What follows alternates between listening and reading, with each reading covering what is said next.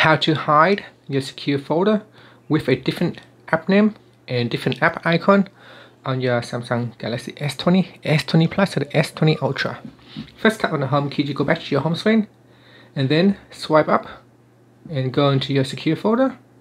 In the secure folder, tap on the option button at the top and then tap on uh, customize. And then in here you can uh, give it a different name. Say um, my mail, for example, we're just going to give it a different name, my mail. And then here you can choose a different uh, icon, uh, say uh, a suitcase right here, and then tap on applied.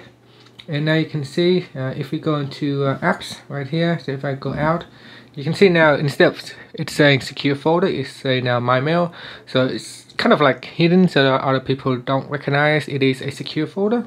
Uh, if you uh, tap on it, you can see we go into the secure folder.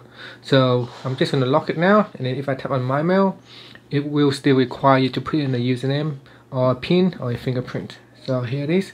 I'm going to put in my pin, and I can now access my secure folder. And that's it. That's how you can customize it on the Galaxy S20 series. Thank you for watching this video. Please subscribe to my channel for more videos.